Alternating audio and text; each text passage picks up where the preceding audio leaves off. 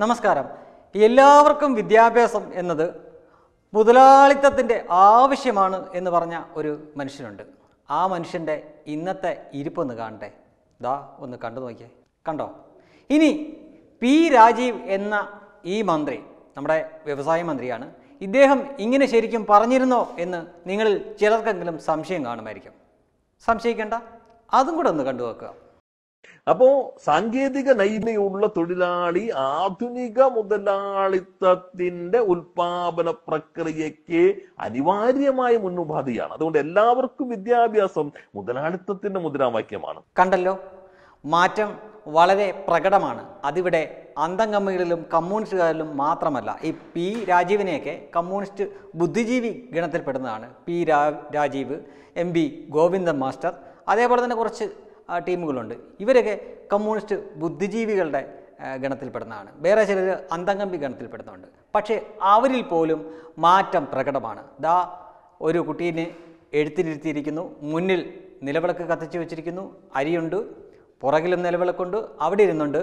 ഹരിശ്രീ എഴുതിക്കുവാണ് എന്ന് തോന്നുന്നു. ഇപ്പോൾ അവർ താത്വിക ആചാര്യന്മാർ പറയും ചിലപ്പം അരിവാൾ ചുറ്റികയുടെ അല്ലെങ്കിൽ എന്തെങ്കിലും വിപ്ലവഗാനമൊക്കെ ആയിരിക്കും അല്ലെങ്കിൽ ഇംഗ്ലാസ് സിന്ധാവെന്നൊക്കെയാണ് ആയിരിക്കാം എഴുതിക്കുന്നത് എന്നാണ് പറയുക. പക്ഷേ അതിന് ഈ നിലവിളക്കിന്റെ ആവശ്യമൊന്നുമില്ലല്ലോ. എന്തായാലും നിലവിളക്ക് കത്തിച്ചു വെച്ചിട്ടുണ്ട്. അരിയുണ്ട് ഒരു പാത്രത്തിൽ അരിയുണ്ട് എഴുത്തിനെഴുത്തുമാണ് പക്ഷേ ഇതൊന്നുമല്ല പ്രശ്നം. ഈ മനുഷ്യൻ പറഞ്ഞിരുന്നു ഒരിക്കൽ അത് വീഡിയോ ആയിട്ട് പറഞ്ഞിരുന്നു. എല്ലാവർക്കും വിദ്യാഭ്യാസം എന്നത് മുതലാളിത്തത്തിന്റെ ആഗോള മുതലാളിത്തത്തിന്റെ ആവശ്യകതയാണ് എന്ന് പറഞ്ഞു വെച്ചിരുന്നു. അതായത് എന്താണ് അദ്ദേഹം ഉദ്ദേശിച്ചത്? എല്ലാവരും വിദ്യാഭ്യാസം ചെയ്യേണ്ട എന്നാണോ? അങ്ങനെയെങ്കിൽ എന്തിനാണ് ഇതാ ഒരു കുട്ടീനെ വിദ്യാഭ്യാസത്തിലേക്ക് ചുവടുവെപ്പിക്കുന്നു അദ്ദേഹം? മന്ത്രിയാണ്? അതൊന്നുമല്ല കാര്യം. അങ്ങ് വടക്കേ ഇന്ത്യയിലേക്ക് നോക്കുക. അത് പറയുന്നതിന് മുമ്പ് പതിറ്റാണ്ടുകൾക്ക് മുമ്പ് സവർക്കർ ഒരു പരാമർശം നടത്തിയിരുന്നു. അതിങ്ങനെയാണ്? എന്ന് ഈ രാജ്യത്ത് ഹൈന്ദവ ഏകീകരണം നടക്കുന്നുവോ? അന്ന് കോൺഗ്രസ്സുകാർ കോട്ടിന് മുകളിൽ കൂടെ പോലും പൂണൂലിട്ട് നടക്കും എന്ന് പറഞ്ഞിരുന്നു. അദ്ദേഹത്തിന്റെ അന്ന് അദ്ദേഹം പറഞ്ഞ വാക്കുകൾ ഇന്ന് സത്യമായിക്കൊണ്ടിരിക്കുകയാണ്. ഇന്ന് വടക്കേ ഇന്ത്യയിലുള്ള ചില പേജുകളിലൊക്കെ കയറിയാൽ അവിടുത്തെ കമന്റുകളൊക്കെ കണ്ടാൽ അല്ലെങ്കിൽ അവിടുത്തെ പോസ്റ്റുകളൊക്കെ കണ്ടാൽ അതാണ് മനസ്സിലാവുന്നത്. അവർ ബി ജെ പിക്ക് വോട്ട് കൊടുത്തത് പോലും ഇതിനാണ് എന്ന രീതിയിൽ പറയുന്നുണ്ട്. കാരണം അവർ കാണാൻ ആഗ്രഹിച്ചിരുന്ന ചില കാഴ്ചകളുണ്ടത്രേ. അതിപ്പോൾ അവർ കാണുന്നുണ്ട്. അതായത് രാഹുൽ ഗാന്ധി പോലും ഹനുമാൻ ചാലിസ ചൊല്ലുന്നു. അതേപോലെ ദേവി സ്തുതികൾ ഉറക്കെ വിളിക്കുന്നു. ഭാരത് മാതാ കീ ജയ് വിളിക്കുന്നു. പ്രിയങ്ക ഗാന്ധി അതേപോലെ തന്നെ ദേവി സ്തുതികൾ ഒരു ജനക്കൂട്ടത്തിന്റെ മുന്നിൽ നിന്ന് ചൊല്ലുന്നു. അവരോട് ചൊല്ലാൻ ആവശ്യപ്പെടുന്നു. അതേപോലെ തന്നെ ഗംഗയിൽ പോയി സ്നാനം ചെയ്യുന്നു. ഗംഗാജലം പാനം ചെയ്യുന്നു. നെറ്റിയിൽ കുറി വരയ്ക്കുന്നു. അടിമുടി ഹൈന്ദവതയിലേക്ക് മാറിക്കൊണ്ടിരിക്കുന്ന ഒരു കാഴ്ചയാണ്. അപ്പോൾ അവർ പറയുന്നത് ഇത്തരം കാഴ്ചകൾ കാണാൻ വേണ്ടിയാണ്. ഇവർ ഇത്തരം കാഴ്ചകൾ ചെയ്യുന്നത് ഞങ്ങൾക്ക് കാണാൻ വേണ്ടിയാണ് ഞങ്ങൾ ബി ജെ പിക്ക് വോട്ട് കൊടുത്തത് എന്നാണ് പറയുന്നത്. അതേ പാതയിലോട്ട് തന്നെയാണ് ഇതാ ഇവിടെ ഈ കമ്മ്യൂണിസ്റ്റുകളും പോയിക്കൊണ്ടിരിക്കുന്നത്. മറ്റ് നിവർത്തിയില്ല അവർക്ക്.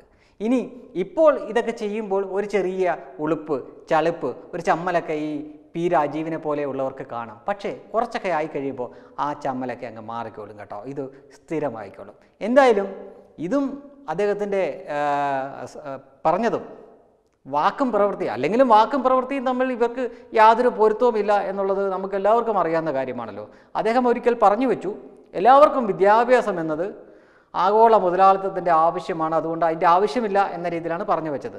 എന്നിട്ട് അതേ മനുഷ്യൻ തന്നെ ഒരു കുട്ടീനെ ആദ്യാക്ഷരങ്ങൾ എഴുതി കൊടുക്കുകയാണ്. അതും ഹൈന്ദവരൊക്കെ വിശ്വസിക്കുന്ന ആ അവരുടെ സംസ്കാരത്തിന്റെ ഭാഗമായിട്ടുള്ള ആ ശൈലിയിലാണ് ആ രീതിയിലാണ് ചെയ്യുന്നത് എന്നതാണ് അതിൽ ഏറ്റവും ശ്രദ്ധേയമായിട്ടുള്ള കാര്യം.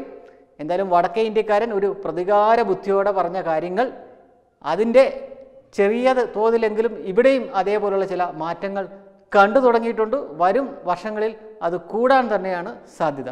Web desk Tatwamayi news.